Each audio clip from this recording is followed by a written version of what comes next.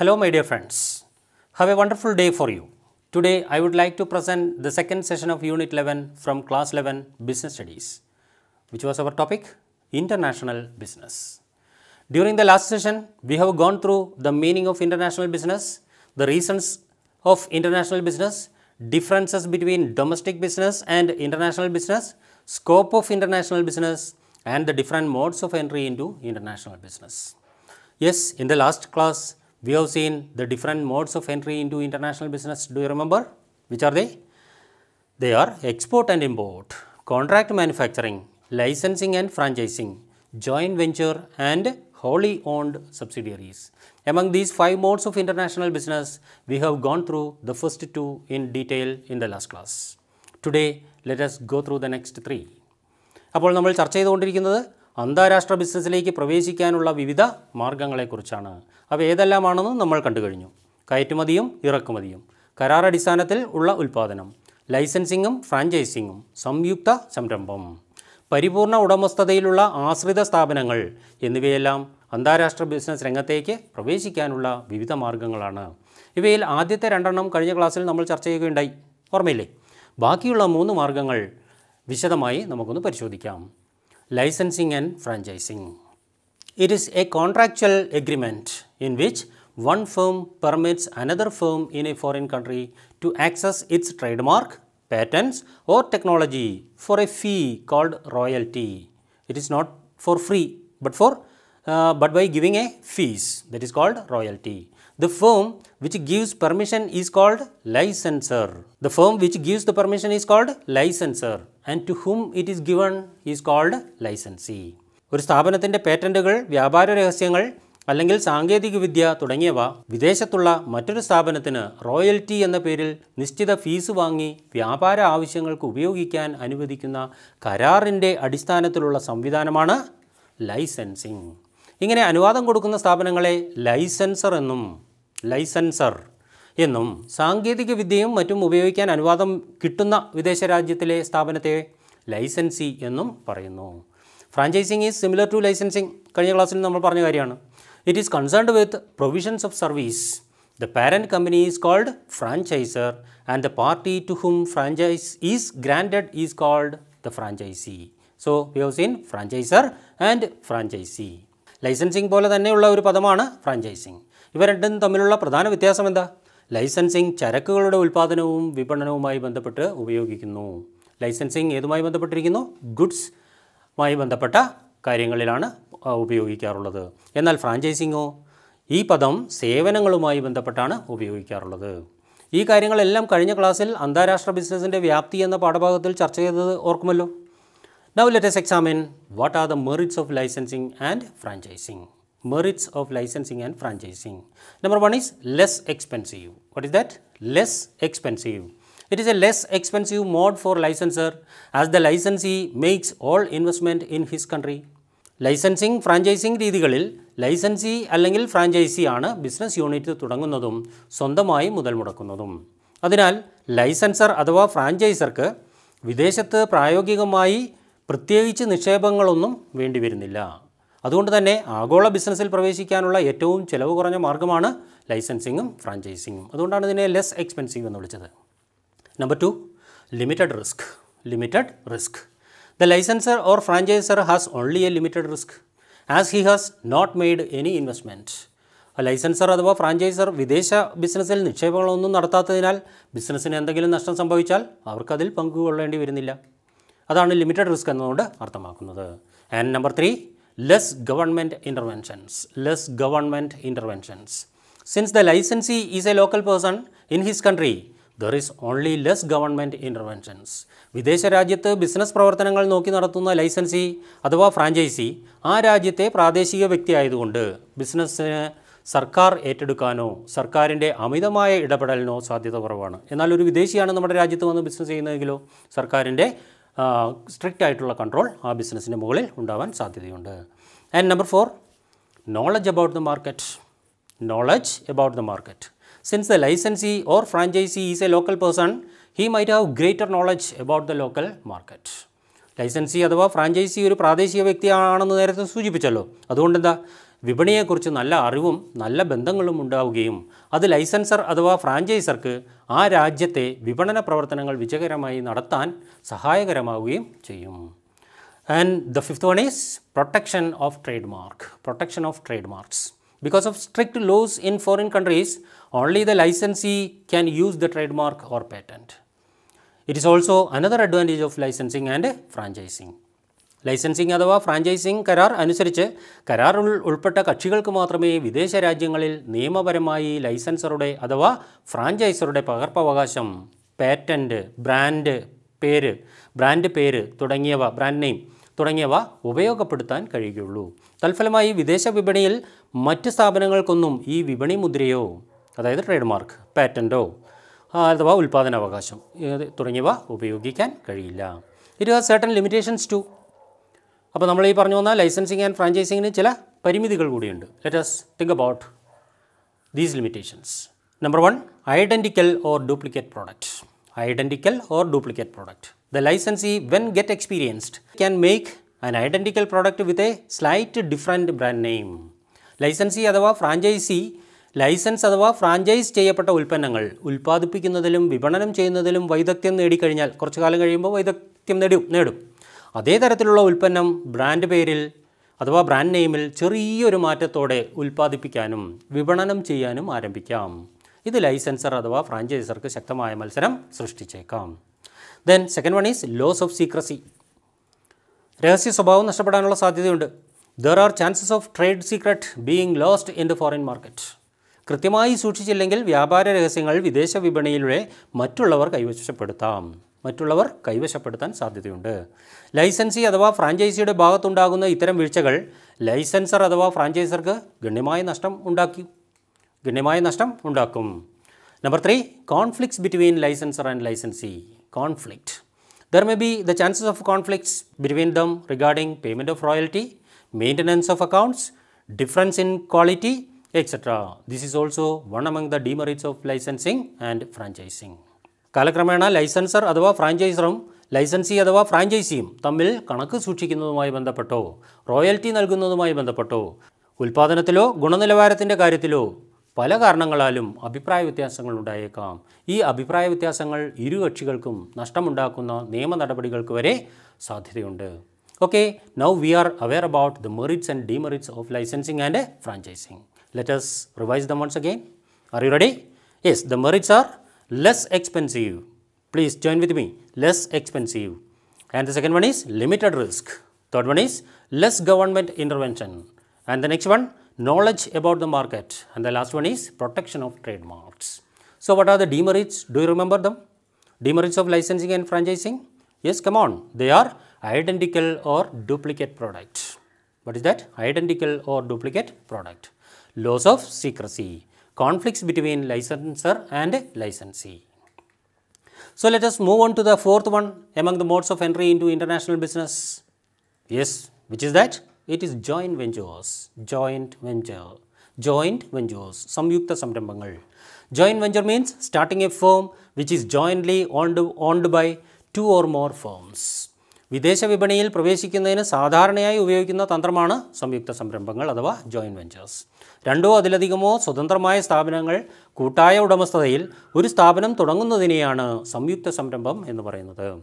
വിശാലമായ അർത്ഥത്തിൽ ഒരു നിശ്ചിത കാലത്തേക്കെങ്കിലും സഹകരണം ഉറപ്പാക്കുന്ന ഏതൊരു കൂട്ടുകെട്ടിനെയും സംയുക്ത സംരംഭം എന്ന് പറയാം.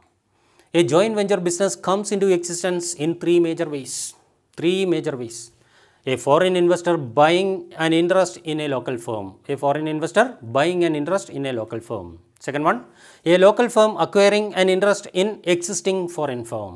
And the third one is both the foreign and local entrepreneurs jointly establish a new firm.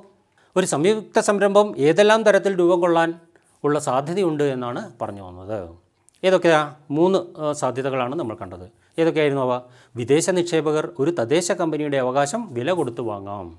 രണ്ടാമതായി ഒരു തദ്ദേശ സ്ഥാപനം നിലവിലുള്ള ഒരു വിദേശ സ്ഥാപനത്തിലെ അവകാശം വില കൊടുത്ത് വാങ്ങാം. തദ്ദേശ സംരംഭകരും വിദേശ സംരംഭകരും കൂടി പുതിയ ഒരു സ്ഥാപനം തുടങ്ങാം. If it is so let let's examine what are the merits and demerits of these types of international business merits and demerits of these types of international business first of all the advantages Number one is less financial burden. Less financial burden. Because the investment is made by both the parties.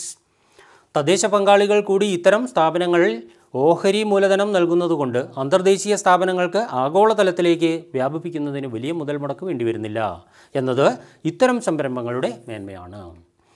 And the second one is large scale operation large scale operation usually joint ventures are running on a large scale usually they are running on a large scale basis ഭീമമായ മൂലധന നിക്ഷേപവും കൂടുതൽ മാനുഷിക വിഭവശേഷിയും ആവശ്യമുള്ള പദ്ധതികൾ നടപ്പിലാക്കാൻ സംയുക്ത സംരംഭങ്ങൾ ഏറെ സഹായകരമാണ്. കാരണം ഇവ സാധാരണയായി വൻകിട സംരംഭങ്ങളായിരിക്കും. And the third one is local partners knowledge can be used knowledge of local partners can be used In case of joint ventures, foreign partner is also benefited because of local partners' knowledge about competition, culture, language, business policies, etc. മത്സര നിബന്ധനകൾ സംസ്കാരം ഭാഷ രാഷ്ട്രീയ വ്യവസ്ഥിതി business വ്യവസ്ഥിതി തുടങ്ങിയവയെ സംബന്ധിച്ച് തദ്ദേശ പങ്കാളികൾക്കുള്ള അറിവും പരിജ്ഞാനവും വിദേശ ബിസിനസ് സ്ഥാപനത്തിന് മെച്ചമുണ്ടാക്കാൻ ഉപകരിക്കും so we are discussing about the merits or advantages of international business which type of international business joint ventures okay now let us come to the fourth one cost and risk sharing is possible what is that cost and risk sharing is possible in case of international business that means joint ventures entering into foreign market is very costly that we know and it is also very risky it can be shared among the joint venture partners പല സാഹചര്യങ്ങളിലും വിദേശ വിപണിയിൽ പ്രവേശിക്കുന്നത് ഏറെ ചെലവ് വരുന്നതും നഷ്ടസാധ്യതയുള്ളതും ആയിരിക്കും. സംയുക്ത സംരംഭത്തിലെ തദ്ദേശ പങ്കാളികളുമായി ചെലവും നഷ്ടസാധ്യതയും പങ്കുവയ്ക്കുന്നതിലൂടെ ഇത് ലഘൂകരിക്കാൻ ആർക്ക് സാധിക്കും? വിദേശ കമ്പനികൾക്ക് സാധിക്കും. Do you remember what are the merits of joint ventures നമ്മൾ ജോയിന്റ് വെഞ്ചേഴ്സിന്റെ നേട്ടങ്ങളെക്കുറിച്ചാണ് പറഞ്ഞു വന്നത്. Yes they are number one is less financial burden less financial burden second one is try to remember large scale operation is possible, large scale operations. And the third one is come on, local partners' knowledge. Yes, local partners' knowledge can be used. Then fourth one is cost and risk sharing. Cost and risk can be shared among both these parties. Okay, now we are going to see the limitations of joint ventures. ഇത്തരം സംയുക്ത സംരംഭങ്ങളുടെ പരിമിതികൾ അഥവാ ദോഷങ്ങൾ എന്തൊക്കെയാണെന്ന് നമുക്ക് നോക്കാം the first one is loss of secrecy and chances of conflicts loss of സീക്രസിയുടെ കാര്യം നമ്മൾ നേരത്തെ പറഞ്ഞതാണ്. Loss of secrecy and chances of conflicts തർക്കങ്ങൾ ഉണ്ടാകാനുള്ള സാധ്യതയുമുണ്ട്. These are the major problems faced by these types of business organisations on international level സംയുക്ത സംരംഭങ്ങളിൽ ഏർപ്പെടുന്ന വിദേശ കമ്പനികൾക്ക് അവരുടെ സാങ്കേതിക വിദ്യയും വിപണന രഹസ്യങ്ങളും അവരുടെ സാങ്കേതിക വിദ്യയും വിപണന രഹസ്യങ്ങളുമെല്ലാം തദ്ദേശ പങ്കാളികളുമായി പങ്കുവയ്ക്കുന്നതിലൂടെ അവ മറ്റുള്ളവർക്ക് ലഭ്യമാകാം എന്ന നഷ്ടസാധ്യത എല്ലായ്പ്പോഴും അഭിമുഖീകരിക്കേണ്ടി വരും എന്നതൊരു വലിയ പ്രശ്നമാണ്. ഇരട്ട ഉടമസ്ഥത അഭിപ്രായ വ്യത്യാസങ്ങൾക്ക് കാരണമാവുകയും പിന്നീട് നിക്ഷേപ സ്ഥാപനങ്ങൾ തമ്മിൽ അധികാര തർക്കത്തിലേക്ക് നീങ്ങുകയും ചെയ്യാം എന്നതും സംയുക്ത സംരംഭങ്ങളുടെ പ്രധാന പരിമിതികളായി കണക്കാക്കാം. Hello dear friends what was our topic yes we are in the different modes of entry into international business. Am I right? Okay, do you remember them? Yes, they are. Number one, export and import. Export and import. Second one, contract manufacturing. Contract manufacturing. And the third one is licensing and franchising. Try to remember licensing and franchising. And the last one, joint ventures. Joint ventures. And the fifth one is wholly owned subsidiaries. Yes we are in the last one. Wholly owned subsidiaries. In this system, the holding company or parent company acquires 100% shares in a subsidiary company വിദേശ രാഷ്ട്രങ്ങളിലെ business പ്രവർത്തനങ്ങളിൽ പരിപൂർണ നിയന്ത്രണം ആഗ്രഹിക്കുന്ന സ്ഥാപനങ്ങൾ അനുവർത്തിക്കുന്ന അന്തർദേശീയ ബിസിനസ്സിലേക്കുള്ള പ്രവേശന രീതിയാണ് പരിപൂർണ ഉടമസ്ഥതയിലുള്ള ആശ്രിത സ്ഥാപനങ്ങൾ. എന്താ നമ്മൾ അതിനെ വിളിച്ചത്? ഹോളി ഓൺഡ് സബ്സിഡിയറീസ് ഒരിക്കൽ കൂടി പരിപൂർണ ഉടമസ്ഥതയിലുള്ള ആശ്രിത സ്ഥാപനങ്ങൾ. വിദേശ കമ്പനിയിലെ നൂറ് ശതമാനം ഓഹരി മൂലധന നിക്ഷേപവും സ്വന്തമായി നടത്തി മാതൃ കമ്പനി അതിന്റെ പരിപൂർണ നിയന്ത്രണം സ്വായത്തമാക്കുകയാണ്. എത്ര ശതമാനമാണ്? നൂറ് ശതമാനം നിക്ഷേപവും ആര് തന്നെ നടത്തുന്നു? മാതൃ കമ്പനി തന്നെ മദർ കമ്പനി തന്നെ നടത്തുകയാണ്.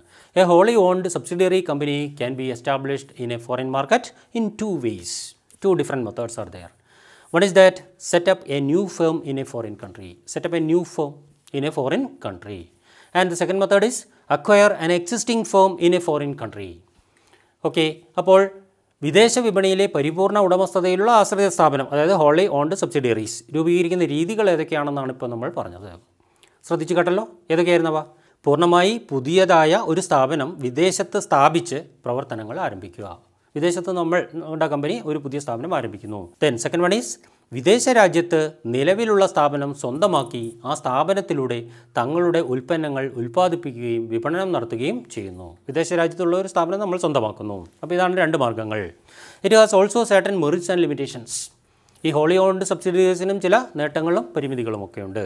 Yes let's think about them number one is full control over operation full control over operation it's a merit then second one trade secrets will not be lost നമ്മുടെ ഏഹ്, വ്യാപാര രഹസ്യങ്ങൾ നഷ്ടപ്പെടുന്നില്ല.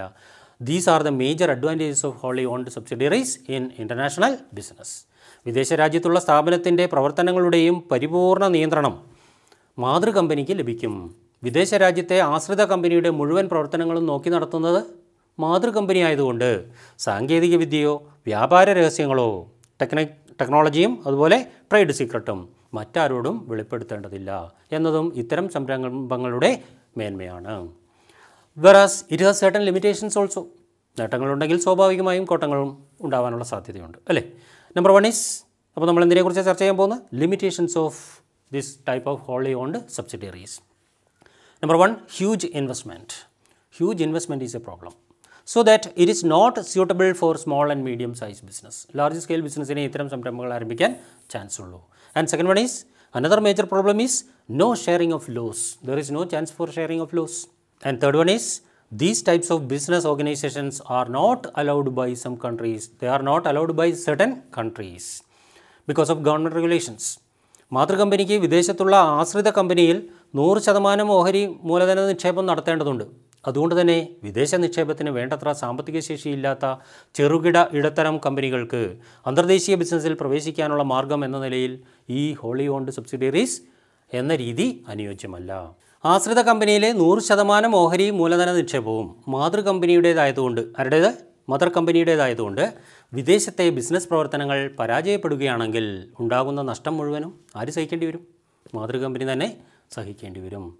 ചില രാഷ്ട്രങ്ങൾ വിദേശ കമ്പനികളെ അവരുടെ രാജ്യത്ത് ഇത്തരത്തിലുള്ള നൂറ് ശതമാനം പൂർണ ആശ്രിത കമ്പനികൾ സ്ഥാപിക്കാൻ അനുവദിക്കാറില്ല. Holy owned സബ്സിഡിയറീസിനെ അനുവദിക്കാത്ത രാജ്യങ്ങളുമുണ്ട്. അവരുടെ ഗവൺമെന്റ് റെഗുലേഷൻസ് ആണ് കാരണം. അതുകൊണ്ട് ഇത്തരം അന്തർദേശീയ ബിസിനസ് പ്രവർത്തനങ്ങൾക്ക് ഉയർന്ന തോതിലുള്ള രാഷ്ട്രീയ നഷ്ടസാധ്യതകൾ അഭിമുഖീകരിക്കേണ്ടി വരുന്നു വരും എന്നതും ഒരു വലിയ പ്രശ്നമാണ്. പരിപൂർണ ഉടമസ്ഥതയിലുള്ള ആശ്രിത സ്ഥാപനങ്ങളുടെ പ്രധാനപ്പെട്ട മൂന്ന് പരിമിതികളാണ് നമ്മൾ ചർച്ച ചെയ്തത്.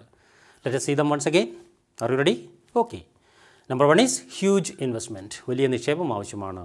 Number two no sharing of loss നഷ്ടം പങ്കിടാനുള്ള സാധ്യതയില്ല. There is no partner at all then third one is it is not allowed by some countries ചില രാജ്യങ്ങൾ ഇത്തരം ബിസിനസ് സംരംഭങ്ങളെ അവരുടെ രാജ്യത്ത് പ്രവർത്തിക്കാൻ അനുവദിക്കുന്നില്ല. ഇതൊക്കെ ഒരു ഹോളി ഓൺഡ് സബ്സിഡിയറിയുടെ പരിമിതികളായി നമുക്ക് കണക്കാക്കാം. Okay let's revise the different modes of entry into international business once again ഇന്ന് നമ്മുടെ ടോപ്പിക് പ്രധാനമായിട്ടും modes of entry into international business ആയിരുന്നു. ആകെ അഞ്ചെണ്ണം ഉണ്ടെന്ന് നമുക്കറിയാം. അതിൽ കഴിഞ്ഞ ക്ലാസ്സിൽ നമ്മൾ export and import contract manufacturing തുടങ്ങിയവയെക്കുറിച്ചൊക്കെ ചർച്ച ചെയ്തിരുന്നു. ഇന്ന് ബാക്കിയുള്ള കാര്യങ്ങൾ നമ്മൾ ചർച്ച ചെയ്തിരുന്നു. Let's revise them once again which are they number one is export and import second one is contract manufacturing third one is licensing and franchising fourth one is joint venture and last one is wholly owned business wholly owned subsidiaries കയറ്റുമതിയും ഇറക്കുമതിയും കരാറടിസ്ഥാനത്തിലുള്ള ഉൽപ്പാദനം ലൈസൻസിങ്ങും ഫ്രാഞ്ചൈസിങ്ങും സംയുക്ത സംരംഭം പരിപൂർണ ഉടമസ്ഥതയിലുള്ള ആശ്രിത സ്ഥാപനങ്ങൾ എന്നിവയെല്ലാം അന്താരാഷ്ട്ര ബിസിനസ് രംഗത്തേക്ക് പ്രവേശിക്കാനുള്ള വിവിധ മാർഗങ്ങളാണെന്ന് നമ്മൾ കണ്ടു കഴിഞ്ഞു so let's conclude the session with an assignment what is our assignment for today see the screen what are the different modes of entry into international business? I am repeating the question once again. What are the different modes of entry into international business? Briefly explain. അപ്പോൾ വിദേശ വ്യാപാര രംഗത്തേക്ക് പ്രവേശിക്കാനുള്ള വിവിധ മാർഗങ്ങൾ ഏതൊക്കെ അതിനെക്കുറിച്ച് വിശദമായി വിവരിക്കുക അഞ്ച് മാർഗങ്ങളുണ്ട് എന്ന് നമ്മൾ കണ്ടു അല്ലേ ആ അഞ്ചെണ്ണത്തെക്കുറിച്ച് വളരെ വ്യക്തമായി നമ്മൾ പറഞ്ഞു എക്സ്പോർട്ട് ആൻഡ് ഇമ്പോർട്ടിംഗ് മുതൽ ഹോളി ഓൺഡ് സബ്സിഡറീസ് വരെയുള്ള അഞ്ച് കാര്യങ്ങൾ അഞ്ച് രീതികൾ അഞ്ച് മോഡ്സ് ഓഫ് എൻട്രി നമ്മൾ ചർച്ച ചെയ്തു വളരെ വിശദമായി ചർച്ച ചെയ്തു അവയുടെ ഗുണദോഷങ്ങളൊക്കെ നമ്മൾ ചർച്ച ചെയ്താണ് then I am asking you to prepare this assignment and submit the same to your teachers for appraisal or evaluation. Okay, let us stop here for the time being. Meet again. Thank you. Goodbye.